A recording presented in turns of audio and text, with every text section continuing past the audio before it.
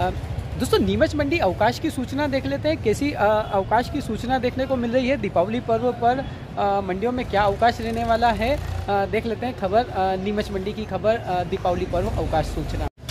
दोस्तों पाँच नवंबर के दिन रविवार का अवकाश आएगा।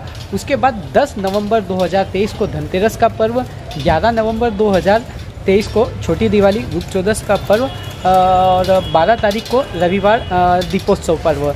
और उसके बाद 13 तारीख को गोवर्धन पर्व और 14 तारीख को भाई दूज का पर्व रहेगा। इसके अलावा 15 तारीख को बिरसा मुंडा की जयंती रहेगी। शासकीय अवकाश रहेगा इस दिन पंद्रह तारीख पंद्रह तारीख के दिन। तो लगातार ये पंद्रह तारीख तक अवकाश रहेगा। सत्रह तारीख के दिन चुनाव का दिन है, मतदान का दिवस है तो सत्रह तारीख के दिन भी मंडी का अवकाश रहेगा। मंडी चलेगी सोलह नवंबर को और 18 नवंबर के दिन मंडी चलेगी। फिर उन्नीस तारीख को रविवार का अवकाश रहेगा। फिर 25 नवंबर के दिन माह का चौथा शनिवार है 26 तारीख के दिन अ, 26 नवंबर के दिन रविवार है और 27 नवंबर सोमवार के दिन गुरु नानक जयंती का शासकीय अवकाश है। तो तीन अवकाश और ये नवंबर महीने में आपको बाद में देखने को मिलेंगे चौथे सप्ताह के अंतर्गत।